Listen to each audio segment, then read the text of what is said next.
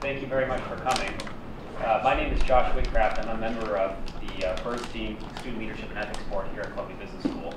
The board's mission is to cultivate leadership, build character, and promote ethical decision-making in the Columbia community. One way we do this is by hosting practitioners to talk about their experiences in this field. And it's with great pleasure we host tonight James Koutoulas. Mr. Koutoulas is the founder and CEO of Typhon Capital Management, an NFA registered commodity trading advisor. Recently, he has spent much of his time as co-founder of the Commodities Customer Coalition, representing over 8,000 former MF Global clients in America's eighth largest bankruptcy. Mr. Koutoulas has unique insight into the case and what really happened at MF Global prior to the collapse. Our discussion and Q&A tonight will be moderated by Columbia Business School's Professor Michael Keehner. Prior to joining Columbia in 2005, Mr. Keehner had a successful career in investment banking and private equity, including 20 years at Kidder Peabody, where he was a member of the firm's board of directors and executive and management teams. He currently is a director at Oppenheimer. Mr. Koutoulas will talk for about 45 minutes, after which he will open up the floor for Q&A. Before I turn the floor over to Professor Keehner, please join me in welcoming our guest.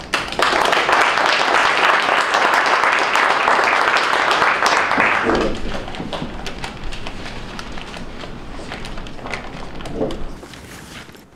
very much, Josh. And let me add my own voice to welcoming you. I've been associated with Bernstein as a faculty advisor for quite a number of years. And I must say the events that the uh, Bernstein board uh, puts together and uh, the group of people are just exceptional, and I hope tonight is no uh, exception. Uh, and I'm happy that James could come and join us. He certainly has been uh, a man in a uh, front seat, maybe more of a front seat than he really wanted at time uh, when it comes to the matter of MF Global. Going to try to get him to talk a bit about, uh, to first set the stage about how MF Global came to pass, uh, and then secondly to talk about his uh, customer uh, organization, which I think, he and I were talking about this uh, before the event started, is to my mind one of the few times that there has been an organization intended customers who come together in the fashion that these have. And I think it's been a manifestation of social networking that has caused him to be in a position to represent many, many, many little people uh, in what has been a set of circumstances uh, where normally big players uh, pretty much dominate outcomes. So you, in a sense, seized a modern technology I think, caused something really unusual to happen uh, in the world of bankruptcy. Uh, for those of you, I think you're aware uh, that MF Global uh, was a significant and upsetting event uh, largest bankruptcy uh, in the country. it represented an overlying commodity firm who underwent a serious strategic change in a pretty short amount of time uh, and moved itself into a much more investment banking-like or one-house trading format, uh, had a huge turnover in people. Uh, the various media report that there was as much as a 40% churn uh, between the commodity house uh, and the new organization together. Uh, it certainly involved a prominent person, uh, the Goldman Sachs chairman, U.S. Senator, the governor of New Jersey, uh, and managed in its strategic refocus to assemble a $6.3 billion position in repos to maturity uh, on European sovereign bonds. Uh, not your old standard sort of asset position and a fairly remarkable exposure for that kind of firm. Uh, sadly, once the, the, trade did not work, uh, and I suppose one of the things I should comment on is you all, I may or may not understand that the nice thing about a repo to maturity is that it permits you to book profits up front, but more or less push the risk off until the repo resolves itself. So uh, in this instance, it was something that the company could run through its books uh, in response to some pressures I understand was getting from Standard Poor's and other things. Uh, And uh, as a result of that, shares some profitability.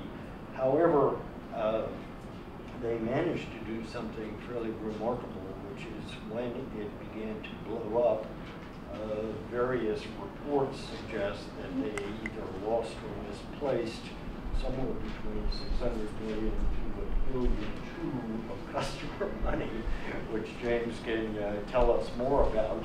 Uh, And I guess for those of you who always thought that segregated customer accounts were a really safe place to be, this is somewhat uh, raises some pretty interesting ethics uh, and Bernstein-like issues about how that ever could happen. Uh, So, um, and there are other issues here too. Uh, One of the things that I do a lot of at Columbia is talking about governance and risk management. Uh, And this is certainly an excellent set of circumstances that makes you wonder if the chief risk officer quits on the second month the new CEO shows up because he doesn't like the position, where was the board of directors? Uh, Would be one pretty fair question we might talk about. Uh, When this was all over with, uh, uh, MF Global was not too big to fail. In fact, it failed quite rapidly. Uh, And in its failure and misplacing the customer funds, which James can talk much more knowledgeable, knowledgeably about than I, uh, a couple of, it had many serious manifestations. Uh, For example, for all of the mid-sized uh, brokerage firms, investment banks, and whatever, whether they were commodities firms or in the securities business, uh, all became very suspect uh, about whether they also had big positions uh, in European sovereign bonds. And a number of you might be aware of the fact that Jefferies uh, had a major run on its stock uh, back in this period to the point that everyone was concerned uh, that a number of the mid-sized firms might begin to have runs on their credit account or were having banks pull lines. Uh, and it ultimately caused the SEC to insist on a fourth period uh, disclosure for many, many firms of what their sovereign bond position or sovereign bond holdings were. So you'll see some interesting stuff in the uh, 10Ks and 10Qs that are coming out for Q4 in 2010 that have never been there before. Uh, And it's interesting that the CFTC itself wound up getting downrated by S&P as a result of this action uh, because the Standard and Poor's believed that the risks of having the various uh, customer seg, they were giving more credence to customer segmented funds than in fact appeared to be the case here. So with that, uh, what I'd like to do is turn this over to James and let him tell us a bit about how it came to pass and when the last time there was a problem with segmented funding, which was quite a while ago. Uh, And then we'll, uh, after we've heard his remarks a bit, uh, between you and I, uh, we will ask him some other questions so we understand what's happening here. James, thank you for coming. I should mention, by the way, he came out here to be with us from Chicago, which is very nice.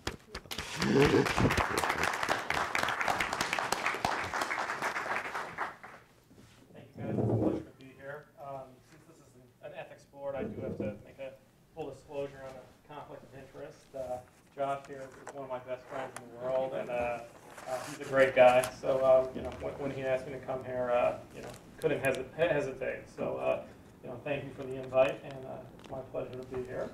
Um, But now MF Global, completely unprecedented case here. Uh, Under the Commodity Exchange Act, there has not been a shortfall of customer, customer segregated funds uh, in the failure of a commodities broker since 1936. um, a long time. And for those of you who may be more experienced with the security side of the financial industry as compared to the future side, um, the segregated account protection is a very big deal. Um, you know, on the security side, you have something called SIPC insurance, where if bank fails, your account could be insured um, up to about five hundred thousand dollars. Futures accounts do not have that. And the reason they don't is because the uh, segregated account concept um, that states that customer money must be kept sep- separate um, from the assets of the brokerage firm every second of every day. It had never been broken before. And uh, let me make one thing clear. Um, You read in the press a lot now that the people involved in this had no criminal intent and it was chaotic when the firm went down and all of that. Um, I don't buy it for a second. And I, th- I think that, uh, um, there were very likely felonies committed here. Uh, the way futures brokerage works, um, before you take a dollar out of a customer segregated account, in order to, um, invest any excess, um, capital, you need to replace that money, um, with equal or, or greater value in very specific types of, of securities or, or cash equivalents. Um, so, you know, during this, you know, frenetic time leading up to the bankruptcy, when there were thousands of transactions and there was a run on MF Global due to the market uh, discovering these highly levered sovereign debt positions, um, that doesn't cut it for me.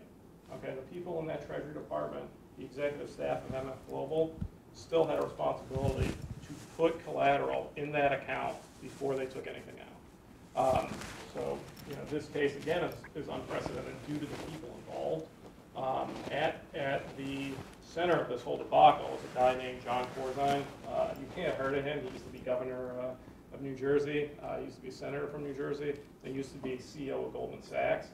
And this is a guy who is, I think, adroitly summed up um, by one of my ancestors, a guy named Aeschylus, who was a, a Greek uh, um, tragedy writer uh, from about 2,000 years ago. And Aeschylus said that uh, people fail not because of their weaknesses, but they feel, but rather due to an excess of their successes. And Corzine is a guy who grew up on a farm in southern Illinois, went on to be the CEO of Goldman Sachs, and really he got there, um, you know, by being a fearless trader, i.e., taking a lot of risk, um, or as some professionals would call him, a punter, meaning he just put on a ton of risk and, and hope for the best.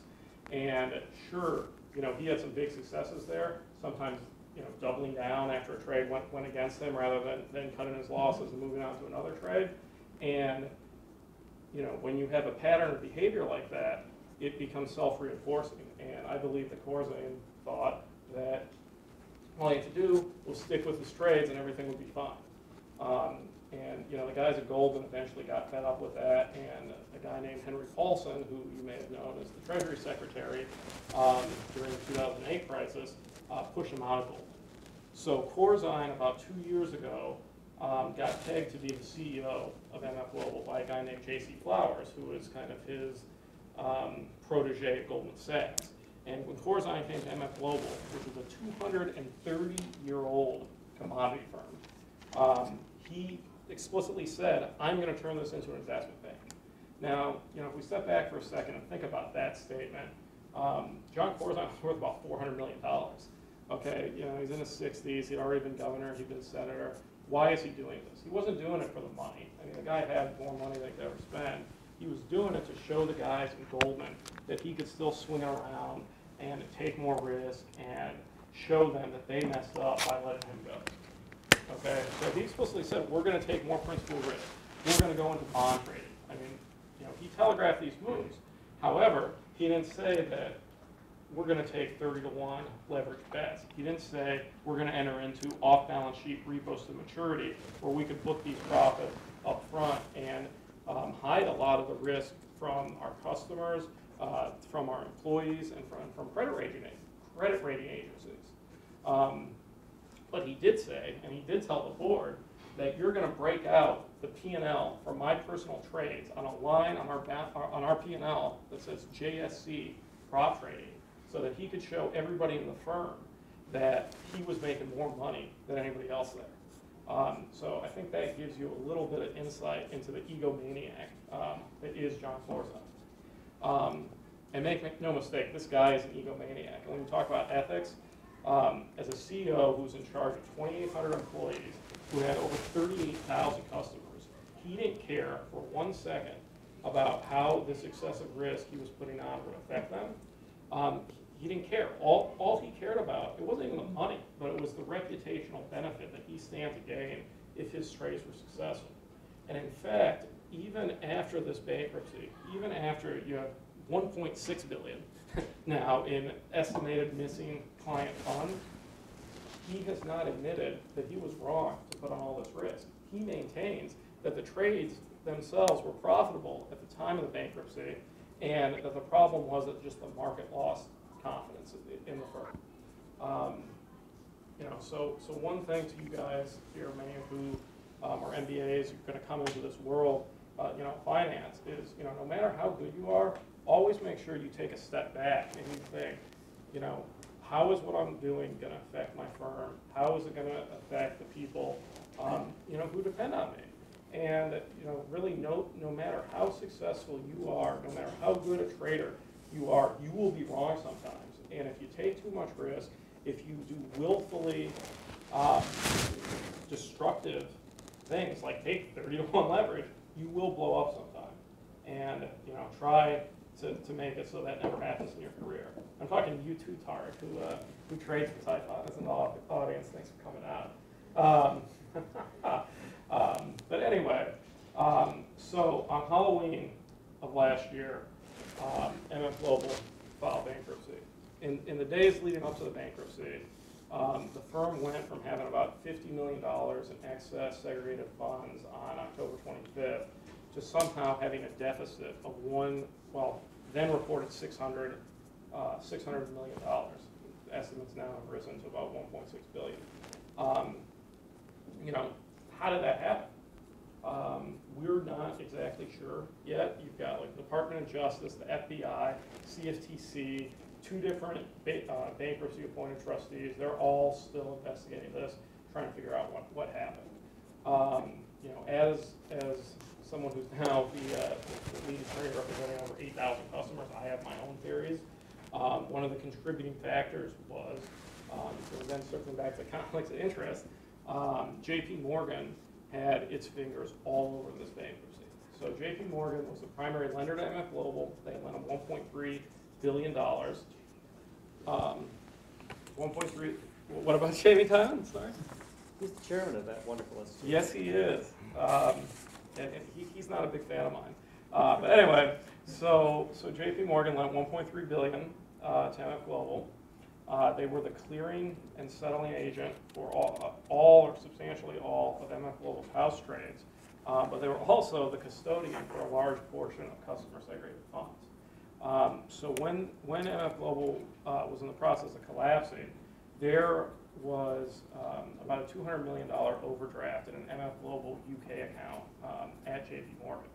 At the same time, MF Global was furiously trying to raise cash uh, to meet its house obligations. It liquidated about 1.3 billion in short-term um, cash equ- equivalents and commercial paper uh, to Corzine's old buddies at Goldman. Um, and JP Morgan, instead of releasing these funds uh, MF Global, said, we're not going to do that until you take care of this $200 million overdraft. Um, and sure enough, MF Global wired them money. But at the same time, JP Morgan took the very unusual step of asking MF Global for what's called a comfort letter, which is basically a written, like, CYA piece of paper um, saying that these aren't customer funds. Now, first of all, JP Morgan was a custodian of a large portion of these customer funds, and they had very good reason to believe that they were customer funds. Again, since they're the lender, they're the clearer, they have their fingers all over um, MF Global and its operations. Okay, but they asked for this letter, took the money, allegedly, and never got the letter. Um, so, um, what they're going to try to do in the bankruptcy court is hide behind a 2005 revision to the bankruptcy code known as the Safe Harbor Act, uh, which basically says even if something's stolen property, if the receiver of it um, didn't know it was stolen property and didn't do any due diligence, they get to keep it anyway. Um, but Jamie Dimon, if you're watching at home, um, I'm not going to let you get away with that. So uh, good, good luck. Um, but you know they, um, was it? It was either New York Times or Wall Street Journal ran an article um, last week saying that it's now estimated that J.P. Morgan took about 340 million um, of customer money, and then you know maybe tried to send it back, maybe it didn't. Uh, but that's going to be one of our focuses going forward is trying to get that back uh, to cover the shortfall. And um, you know, again, talking about shortfall, this is a very unusual situation. Um, the previous biggest shortfall in a you know futures FCM bankruptcy was about zero dollars. Um, so to have 1.6 billion missing is you know a really big deal. Um, and you know we're we're trying uh, you know our best you know to get everything back. Um, so I guess kind of circling back to how I got involved with this. Uh, my day, job is running a commodities-based hedge fund. Uh, we trade futures. Um, our clients get to pick their clearing firms. Since uh, the way our structure works is clients generally get their own separately managed account, and then we have a power attorney over that account. So they get to pick where they clear it for commission rates or who they feel safe or, or whatever reason. And, uh, you know, we had about 55 million in customer assets who selected MF Global as its clearing firm. Um, I also happen to be an attorney, even though I have basically no litigation experience and had zero bankruptcy experience. Um, but when MF Global went bankrupt and shortfall was reported, I told my clients that I would go and represent them free and try to get uh, an expedited release of as much money as we could, which at that time we thought we could probably get 90% or so back, you know, right away. Um, a, another uh, brokerage firm in the space, you know, basically tried to do the same thing. Their motion got heard before mine. It was denied. Um, around the same time, the shortfall numbers kept growing. Um, another guy in Chicago named uh, John Rowe, who happens to be the son of uh, Congressman Phil Rowe, um, had a thousand customers that were at MF Global. And within a couple days of each other, the New York Times wrote a story about what I was doing, and some other publication wrote a story about what John was doing. We both saw him. We called each other.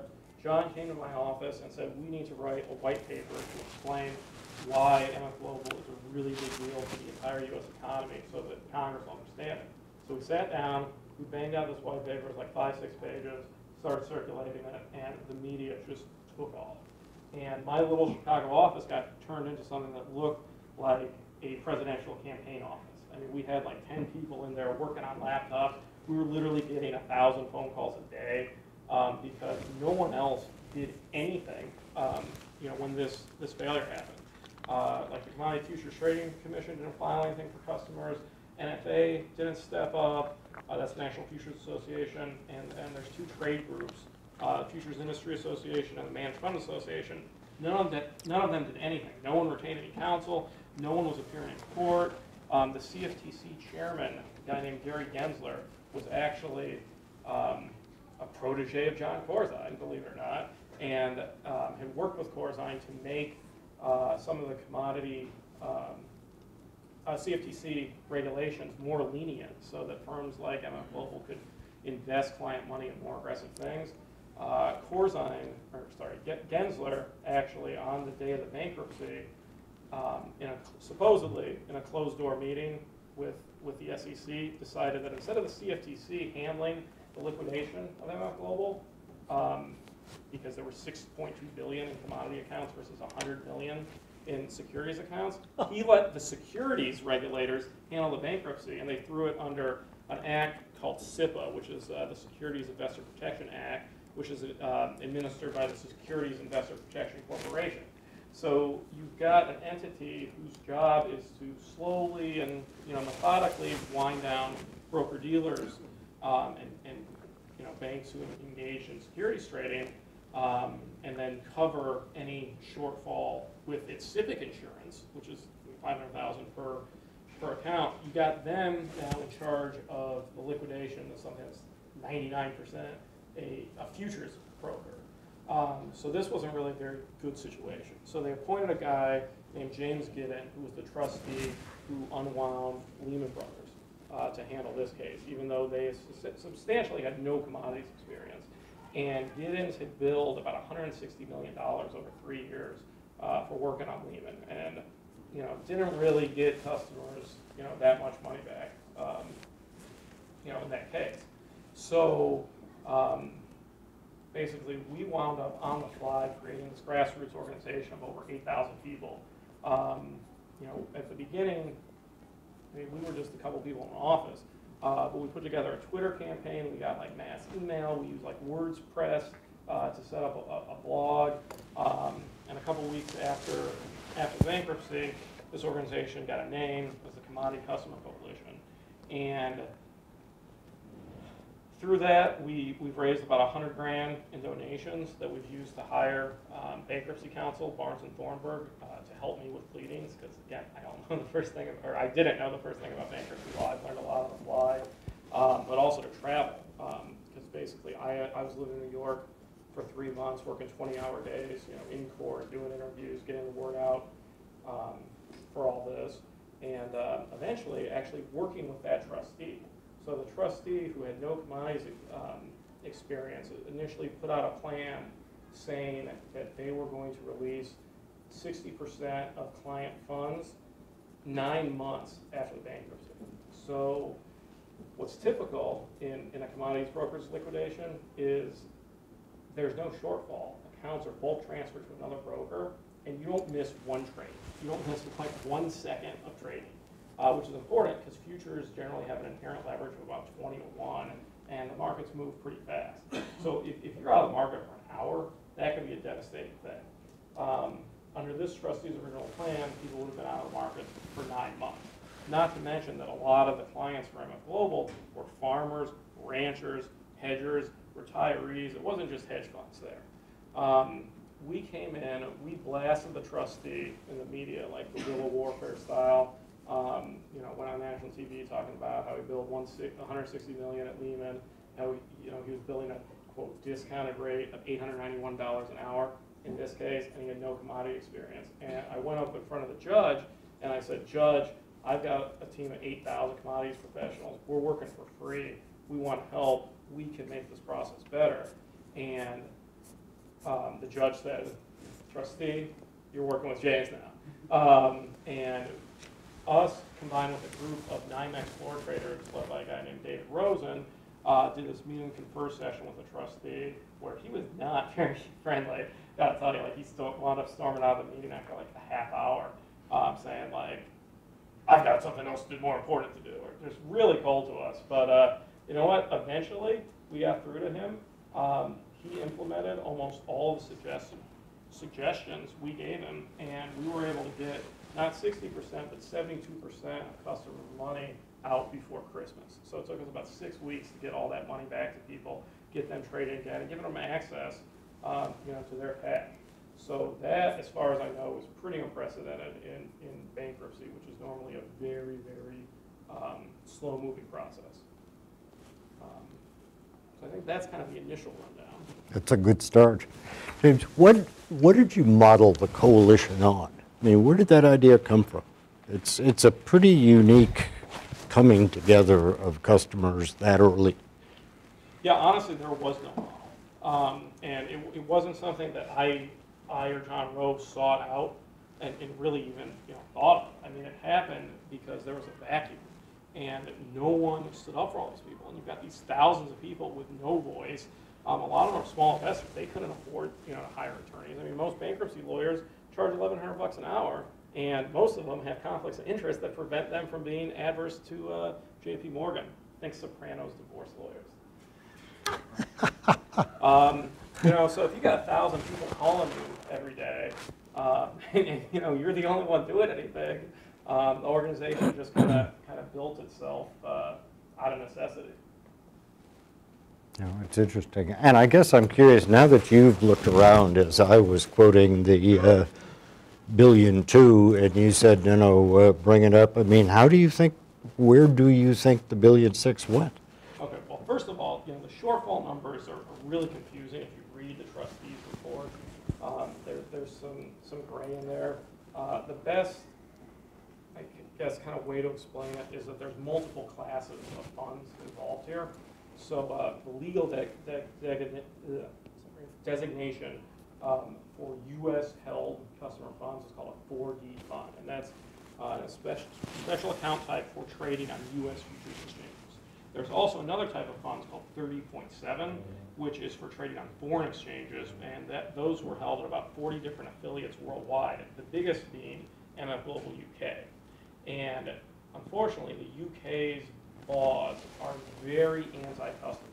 So customer property in the UK, in a bankruptcy, gets thrown into what's known as the general creditor pool. So even though this entity is holding customers' money, and in a lot of cases, US customers didn't even know this because the, the, the funds went into a US account and then were transferred over into the UK so that they could trade, uh, the foreign futures. Um, but, you know, whereas in the US, they're supposed to be segregated by law and they have priority in bankruptcy, that's not the case in the UK. And, uh, you know, unfortunately, our our US financial system has a pretty big loophole where pretty much all of the Wall Street banks are using the UK to not only, you know, invest customer money, um, you know, offshore, but doing it without regulation. Um, you know, a lot of off-balance sheet derivatives, but with no real restriction on the amount of leverage they're using.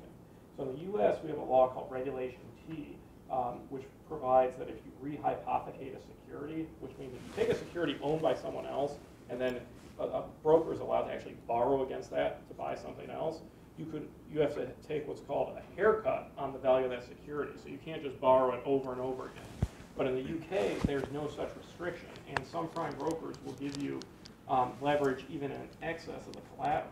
So what happens is, um, these brokerage firms will take that security out of someone's account, they don't know it, customer doesn't know it, they don't get any compensation for it, okay? They move it offshore to the UK, and then they'll borrow against it thirty or forty times. And uh, this process is called rehypothecation. It's a big, big factor in what happened in 2008 with AIG, Goldman. All the banks were doing this with CDOs and CDSs. Um, and to me, it's an absolute travesty. It's something that needs to be fixed. Um, but there's, it's something that's very hard to fix because all, all the bank lobby wants to be able to take customer mon- money, put it in, a, in an offshore unregulated account, take as much risk as they can.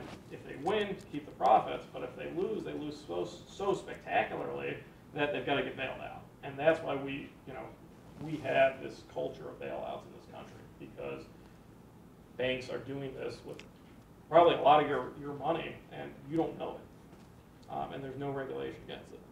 So, but anyway, getting back to the original question of, of the $1.6 billion shortfall, 700 million in customer assets are held at MF Global UK, and the UK trustee will not give them back to the US to be distributed back to customers. Instead, they are digging in their heels and saying, come sue me, and gearing up for a three-year litigation, um, where, you know, the bond market buys distressed claims for people, is currently valuing um, those claims at like 40 to 45 cents on the dollar, whereas the bond market's valuing U.S. customer claims about 90 cents on the dollar. Um, so we think that there's about 700 million in the UK that's in the shortfall just because it's not under the trustee's control, even though we know where it is. And then there's about 900 million in U.S. customer segregated funds that is quote missing. But um, I think we will actually wind up getting most of that back.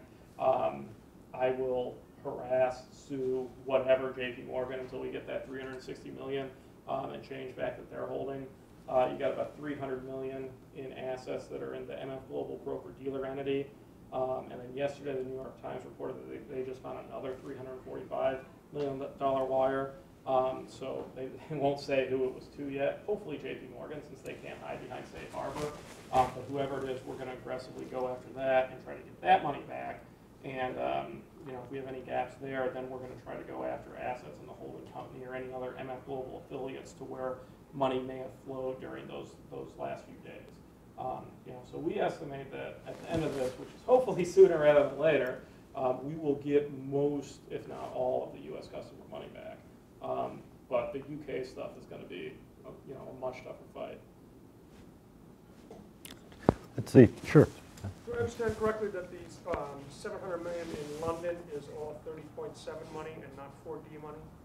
Um, segregated? There, there's some dispute as to that. Um, you know, one wrinkle in this bankruptcy process is that due to the fact that there's two trustees involved in criminal investigations and regulator investigations, um, the judge has not permitted us to take discovery. So I personally have not been able to review any of these records. None of our consultants or accountants have, have been able to review them.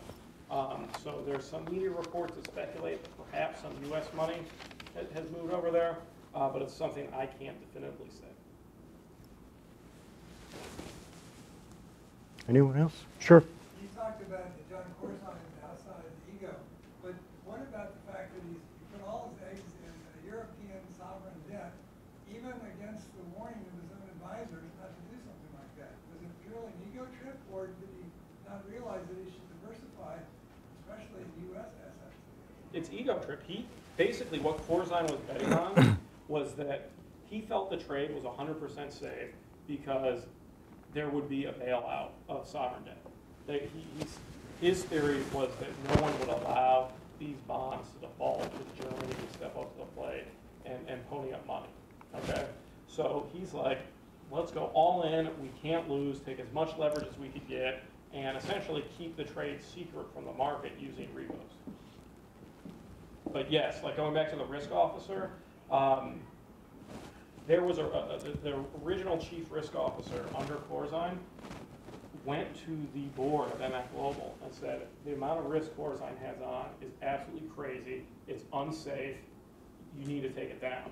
Corzine goes to the board and says, either the risk officer goes or I go. And if you want to talk about corporate governance, the MF Global board were all shills to Corzine.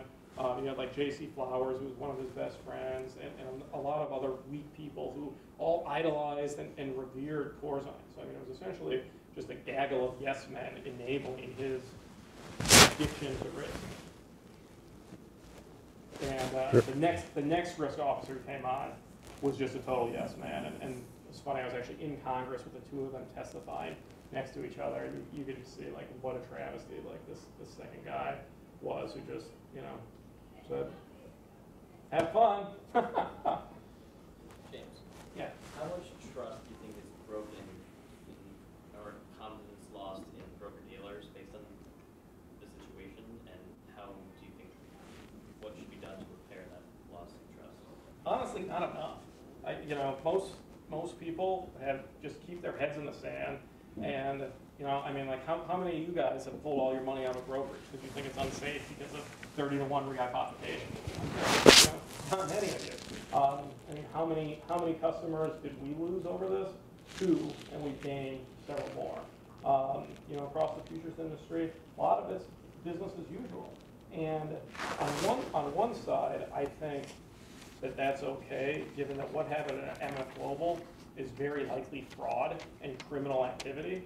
And no matter how much regulation you have, people are gonna commit crimes, and you can't withdraw from a market, um, you know, just because a crime happens. You need a criminal justice system that's then going to go and put people in jail, which didn't happen after two thousand and eight, and now these guys are already, you know, trying to line up their defenses to, to wiggle out of this one. Um, so, Kind of, kind of circle back there. I think that if people go to jail over this, and if we could put, if Corzine committed a crime, we could put him behind bars and show the American people that it doesn't matter if you were CEO Goldman Sachs and governor of New Jersey, and, you know, a a senator, that you could go to jail if you commit fraud. I think that would be great for the markets. Um, but at the same time, the financial system needs reform. Dodd-Frank and the Volcker Rule do nothing um, to, to change the, the systemic problems in this country, which are just absolute ridiculous amounts of leverage and off-balance sheet derivatives. So, you know, if you, if you really want to see, um, you know, confidence come back into the system for people who really understand the system, you need to put these derivative products on exchanges, and you need to strengthen Reg T to say that US-based accounts cannot be transferred offshore. When you You got work, another question there? oh, sure, go ahead. In many bankruptcy cases, you can reverse transactions before Chapter 11. And in this case, Horizon System transferred the money without producing the letter. We chose some, you know, intent of fraud, and why can't you reverse the transaction here? I think you should be. Um, you, sh- you should be able to, but I mean, we're dealing with JP Morgan, which is a very politically connected bank. I mean, it's one that, um, you know, received, uh, by one Bloomberg story, over a trillion dollars in, in notional assistance from the federal government after two thousand and eight, yet claims they didn't need the money. Um, and, and I think JP Morgan's modus operandi is possession is nine tenths of the law. And in, in the, in the Lehman bankruptcy, Barclays had bought a sizable chunk of the assets out of, out of the Lehman estate.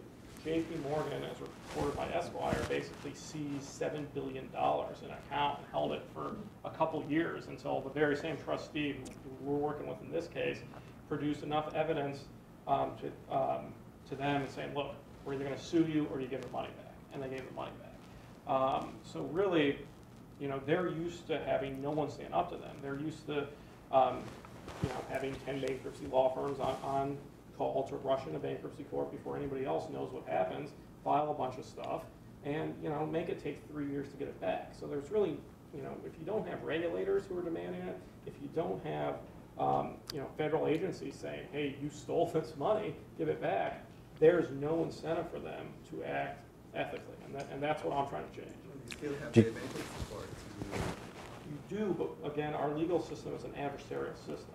So unless something is unconscionable, um, and where the judge could step in and say, whoa, whoa, whoa, um, if you don't have another party who knows what's going on and who has expensive enough lawyers to, you know, who aren't conflicted against JP Morgan to go up and stand, stand up and object to it, it just goes right through, through court. And bankruptcy court is one of the clubbiest, like most fraternal organizations, um, you know, in the United States.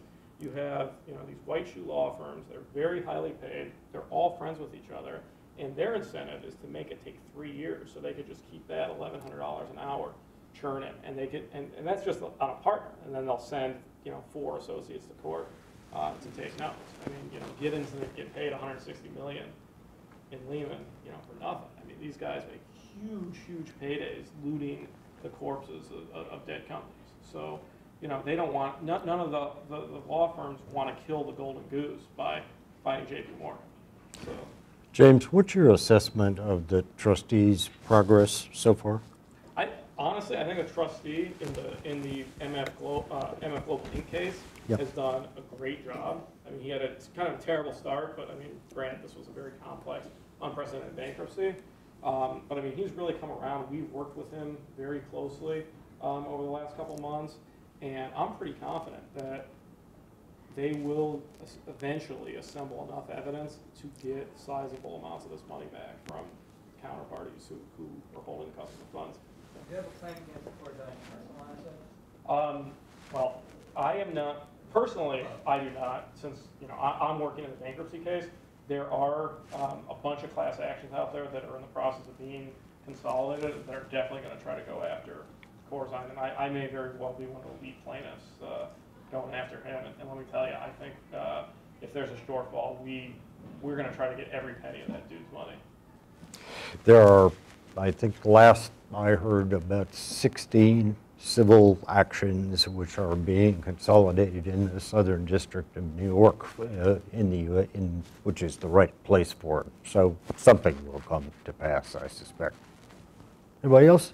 Questions? Sure.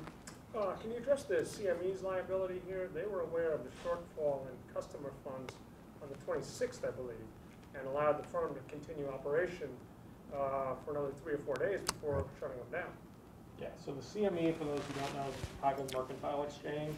And in, in addition to being the exchange who clears the large majority of futures trades, they're also what's known as a DSRO, which is a designated self-regulatory organization.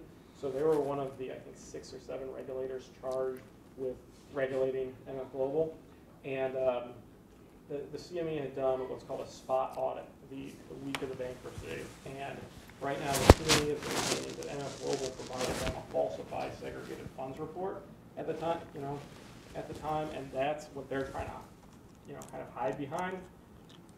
It remains to be seen um, what actual liability the CME may have for, among other things, going home at six o'clock on the weekend, on Friday night, um, you know, when they knew, uh, there, there were some problems there and a failure might have been imminent, bless you, um, and they may, you know, they may have some liability. Um, so I mean, it's, it's too early, you know, it's too early to tell, and, you know, if it's found that they do, we will, you know, we will help, uh, go after them. Um, though heretofore, they have been our one, like, big company ally who has actually, like, done good things for the customers.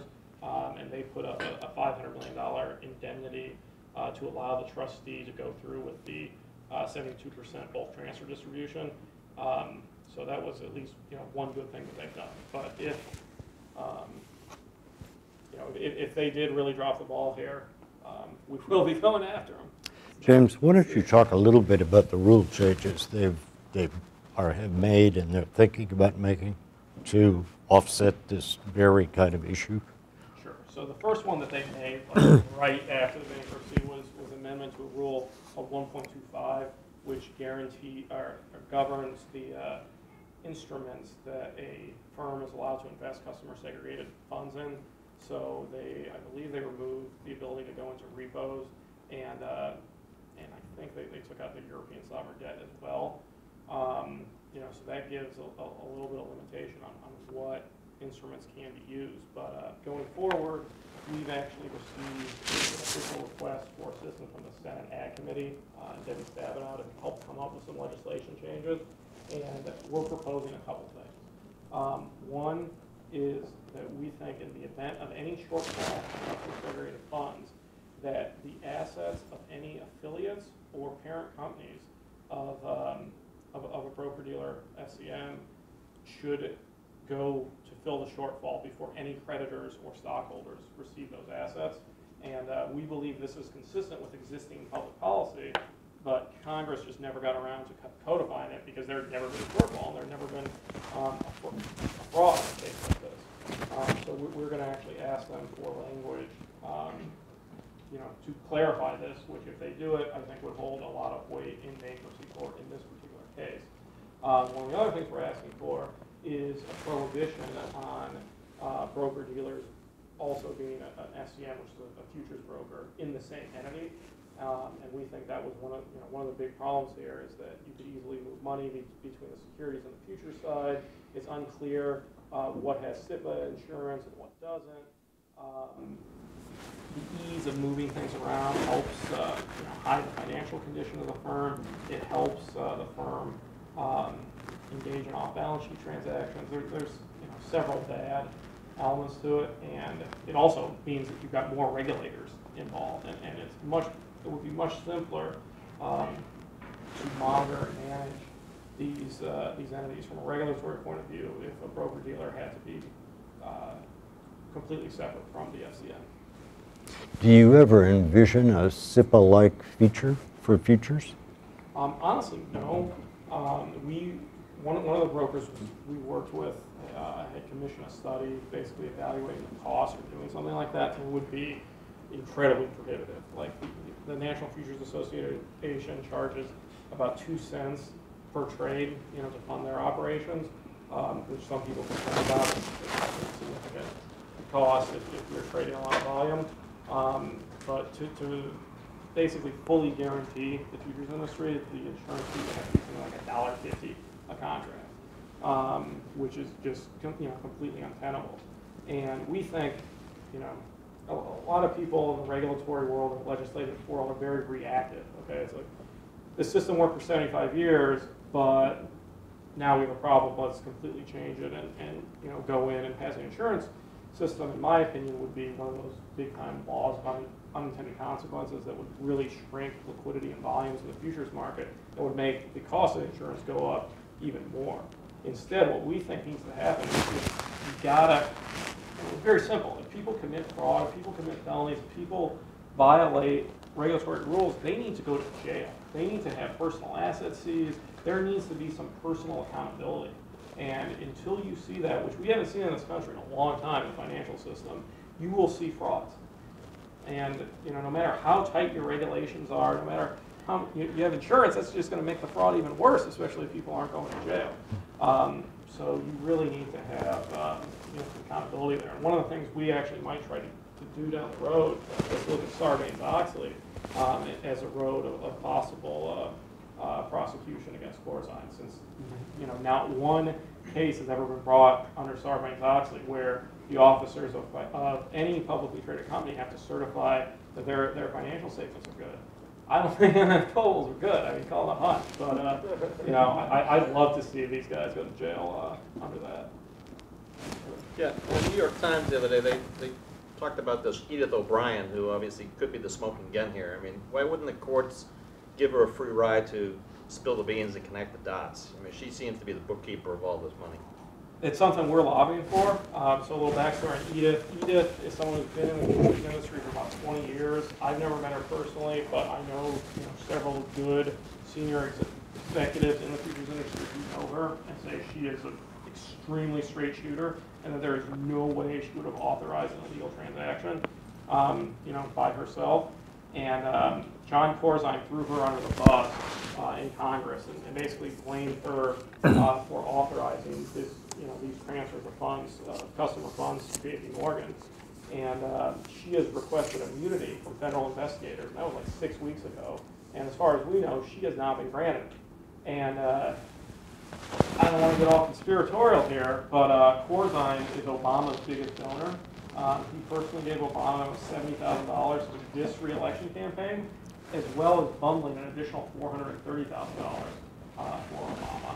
Guy's a former senator, he's a former governor, and uh, oh, by the way, Obama didn't give the four hundred and thirty thousand in bundled contributions back. He only gave the seventy thousand in uh, in personal contributions back. So he's literally, you know. Anyway, I'll, I'll, I'll film. And Jamie Dimon hosted a, uh, a fundraiser in his apartment uh, on Park Avenue when Obama was in town. Yeah, and he's now trying to distance himself from Obama. I don't know what password. But I mean, listen, conflicts of interest are important. And just because they exist doesn't mean that, that someone acted due to a conflict, but it sure raises questions. And so now in this administration, we have an attorney general who's under investigation of the Fast and the Furious, and you've got um, an unprecedented shortfall, which there's probably felonies involved here, and no one has even questioned Corzine. And they won't give immunity to the guy, or, or to the lady um, who he's implicated. Why not, Obama? Let, let, let's, uh, let's see an investigation here. Go. I know you said MF Global was levered around twenty to thirty to one. 30. Thirty to one. Who were the other primary lending banks at the time of bankruptcy, and have you spoken to them, and how's their bankruptcy and meetings gone? Uh, JP Morgan was Outside far, of- they were far and away, um, the one providing them, um, actual cash. And it was like one point three billion. The second biggest credit was Deutsche Bank at about one point two billion. However, um, that wasn't money that was lent. That was, uh, that was invested in, you know, other, like, like Deutsche Bank actually had mandated that if their employees wanted to trade futures, they use MF Global. That's something that hasn't been, uh, reported at all, but I, I think there's a lot of people in Deutsche Bank who, uh, um, have suffered greatly due to this, this bankruptcy, but they've, you know, really kept a lid, lid on that. But, uh, you know, when you talk about, about leverage, a lot of it isn't, um, you know, just here's twenty bucks, you know, go buy something. Um, a lot of it's done by rehypothecating security, so there, there's, doesn't even have to be a, uh, you know, cash transaction. But JP Morgan was MF Global's primary lender and broker and clearer. So I, I estimate that, um, very large percentage was JP Morgan. Who else is on the creditors committee?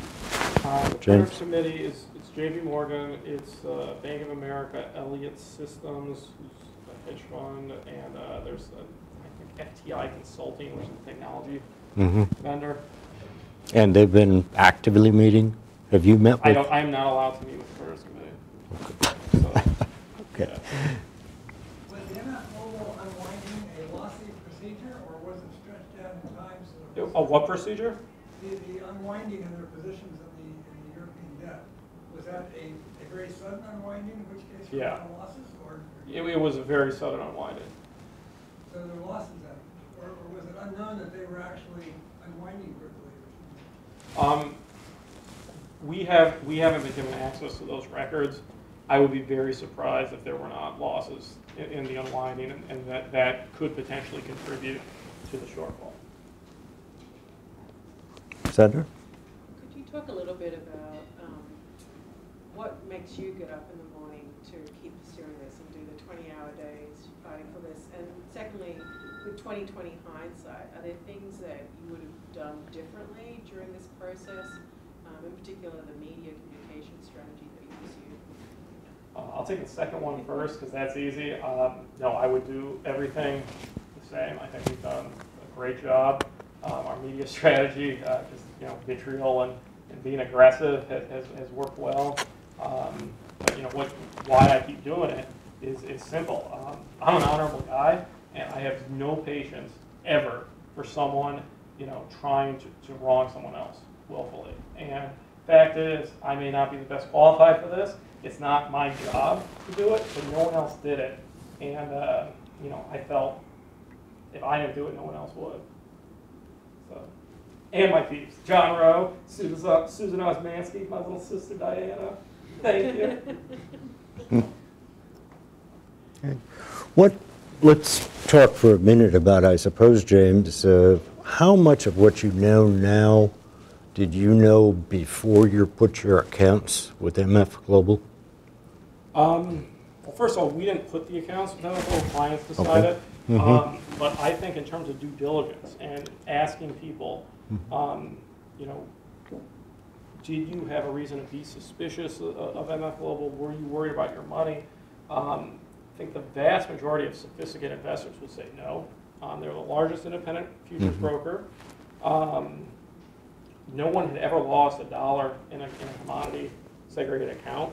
So, like, people believed in this protection so much that on the 28th, um, a broker I know asked me if he should switch his brokerage business to MF Global, because even if they go bankrupt, the accounts will just get bulk transferred somewhere else, like they did on on Refco. Right.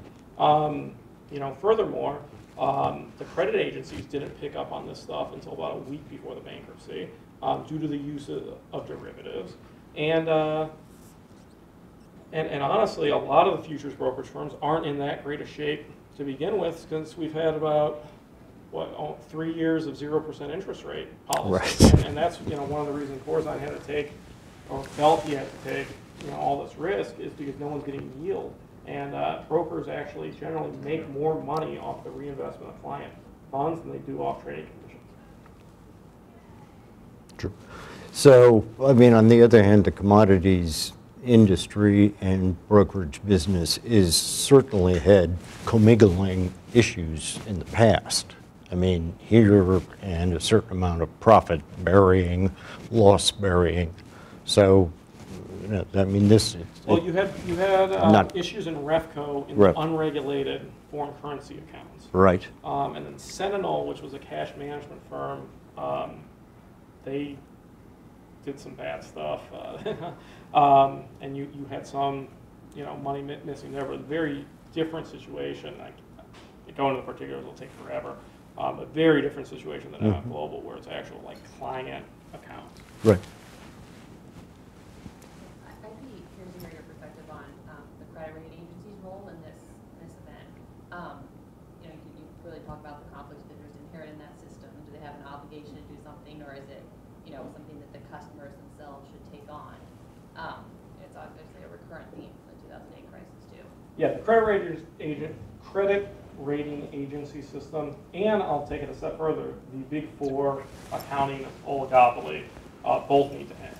Um, they do nothing to protect customers. Whenever you have, um, you know, someone who's in a, in a role where it's their job to, you know, essentially bring to light damaging information, you can't have them paid by the person that they're supposed to be enforcing.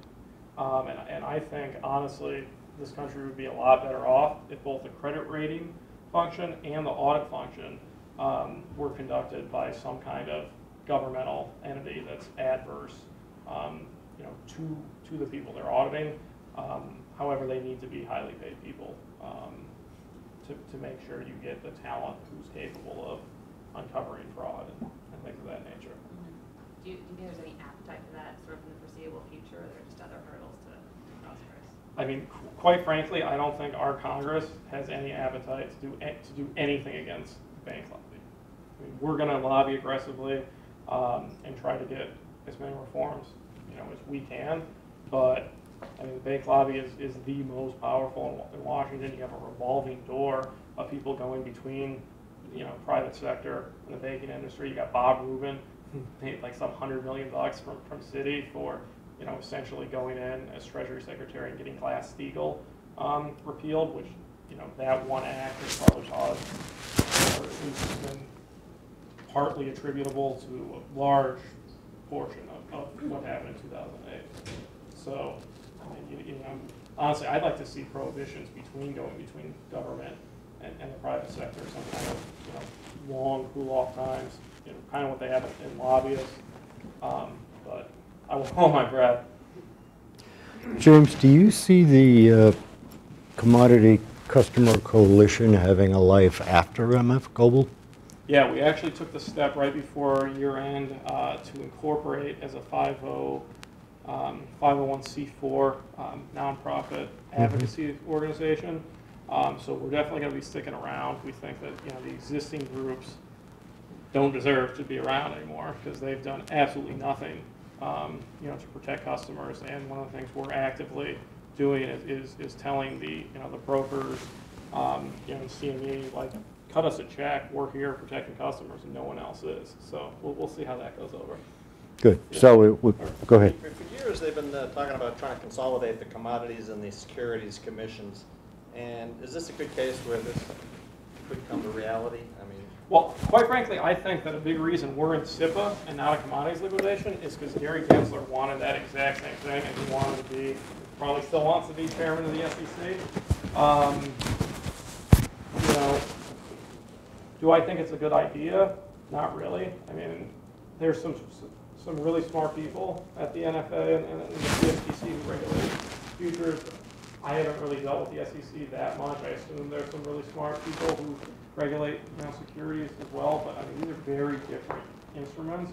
And I, I honestly think that they should be separate, and we should, you know, go the other way and mandate that, uh, um, broker dealers and FCM and, and let a regulator that's good at securities handle the very regulator that's good at futures handle futures. But get someone in hybrid securities today. I mean, the World Go- Gold Yeah. Council created the first gold bullion EF ETF. Took them three years to get approvals from the uh, Commodities Commission to to do a simple thing.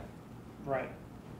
Yeah, I mean, it's, you know, obviously keeping them separate is no, you know, panacea. Um, and yes, there's lots of hybrid products, like someone was telling me today, there's like eleven hundred ETFs now, and a lot of those have futures as their, their underlying component. Um, you've seen on the future side, a lot of commodity trading advisors form mutual fund wrappers around offshore funds. That's something that, you know, you're probably gonna see, um, you know, joint regulation in. Uh, that at least if you could keep the transactions separate at the brokerage level, and, you know, you have different ent- entities regulating different, you know, securities or futures wrappers around it, I, I do think that would be simpler and better for the customers. It, it's probably a fair assumption, though, that since they've been held separately through the Dodd-Frank process, there are just some extraordinary industry pressures that don't want those kinds of things to occur. So you still wind up with a separate commodities trading organization and its SRO, the securities industry, and for example, the insurance industry, all of which are sort of trying to fit Dodd-Frank into their own bucket with varying degrees of success. So I, it probably is a case for it, but I don't. the case of Cortland, he was the mastermind behind Maya J. Aron's at Goldman Sachs. And he was also the mastermind behind, uh, you know, Right. long-term asset management of- of Meriwether and all of the other hedge funds that were created by alumni of, uh, of Goldman Sachs. And that was J.C. Flowers being one of the first. Mm-hmm. Question?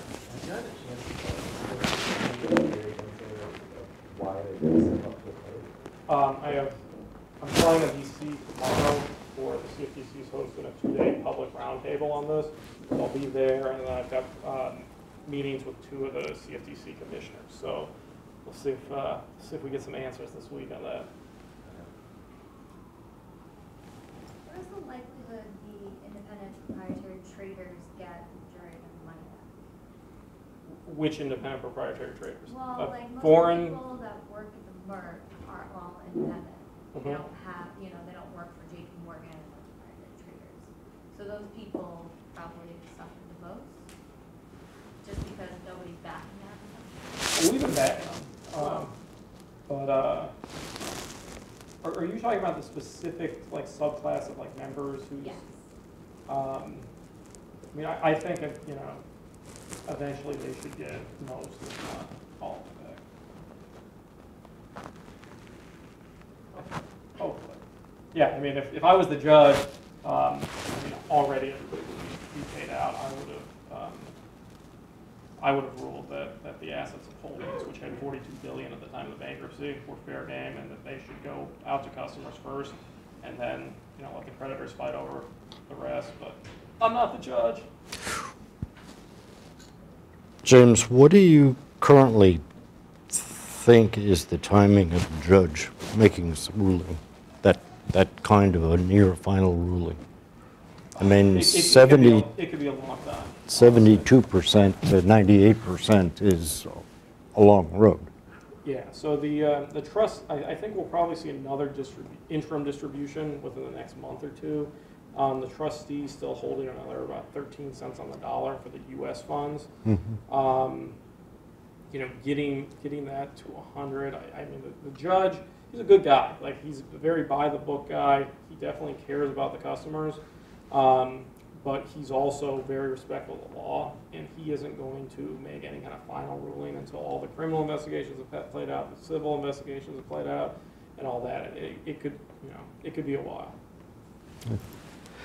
Uh, Any other questions from the audience? I think one of the things that we might spend a few minutes doing in uh, five or so uh, is that James has had a pretty interesting entrepreneurial career, uh, which is what led up to the hedge funds that uh, got caught up, or the uh, management firm that got caught up with MF Global.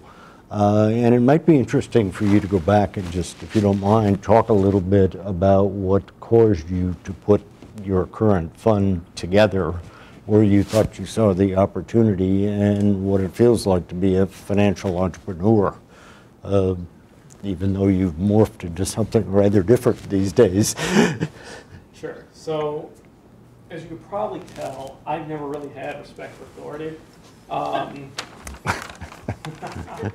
uh, so I, you know, I've never been able to envision myself working like for a boss. Uh, my first job was when on my, started my 15th birthday. I, I ran a department uh, at a pre-IPO telecom company uh, where I wound up learning like 11 programming languages and wrote some like early voice over IP stuff. Uh, our CFO taught me how to trade, and this was in the mid 90s, like just when the internet was taking off. I did really well at that, loved it. Um, went on to write software for Smith Barney when I was 16. Uh, started my own consulting firm uh, when I was 19 and at school at the University of Florida. Uh, luckily, Florida was easy enough where I could fly around the country and just come back for tests, uh, so that worked out pretty well. Um, then I went, I wound up going to Northwestern Law School since I wanted a name brand degree, much like you guys are in the process of getting here. Uh, definitely recommend that. It's great, you know, great experience. And while at Northwestern, I wound up being the head of software development for a risk firm. Uh, firm didn't do so hot. Went from there to being the COO at another startup, which was a fund of funds firm, and that went nowhere. And really, from those two failures, I learned how to be a success. And I basically, you know, sometimes the best education is learning what not to do. So like George Costanza on Seinfeld, like doing the opposite of, of all his instincts. When I started Typhon, that's what I did. So at that, you know, at the at the Fund of Funds, our CEO, who was an absolutely brilliant lady who accomplished amazing stuff in uh, you know her career previously to that, came out of retirement after 14 years and like, don't talk to me if you don't have 100 million dollars. Um, she'd go to sales meetings and talk 57 meetings or 57 minutes out of an hour and go ramble on tangents and not listen to clients all. Um, so when I started Typhon, I thought about my programming background and breaking things up into the smallest reusable object as possible. So I came up with a structure where we would take emerging managers, like my boy Tarek right there, um, who trade one specific asset class, build an investment vehicle for them, set risk parameters, run their operations, raise money, do everything for them, so they could just think about trading like, you know, they weren't a big firm with all the support and, and services inherent there, but to be able to do their own, you know, kind of explore their own creativity, if you will. And we've assembled now a portfolio of seven of these different strategies that I can then mix and match, match, build portfolios where we tailor them to sectors, tailor them to risk, um, you know, put them in an offshore Cayman fund or a managed account or whatever kind of structure you want, and then have my girl Christine over here do all the accounting, and figure out what, uh, um, you know, who, who gets what, right? Um, and now from a sales point of view, I've taken the approach, listen to the client. The client, a lot of times, knows what they want, and, and a lot of times people feel the need to talk and ramble and sell them. Um, but most people like talking about themselves. So if you just sit there and shut up and listen to what they have to say, that a lot of time goes a long way. As my girl Linda in the back knows, because she's awesome at raising money. Any other questions for James? Otherwise, I think we should give him a hand for coming all the way I from want to say Chicago. one more thing, since we're Sure. me in the entrepreneurial tangent. A lot of you guys are coming to the point where you're gonna make decisions on your career, and we're in New York, it's a competitive, competitive market. You know, people wanna be able to say, I work at Goldman, or I work at JP Morgan, and, um, you know, be able to go, get that eight o'clock table at, at, you know, Babbo or whatever. Um, but before you pick a job, you know, don't do it because of the security working in a big firm is gonna get you, or that, you know, maybe one day you're gonna be flying private or whatever. Pick a job because you genuinely love what, you know, what you do. And I love what I do. It happens to be a job where I could make a lot of money, but maybe what you love isn't gonna make a lot of money. Do it anyway and take risk, and if you want something, go for it. Thank you, guys.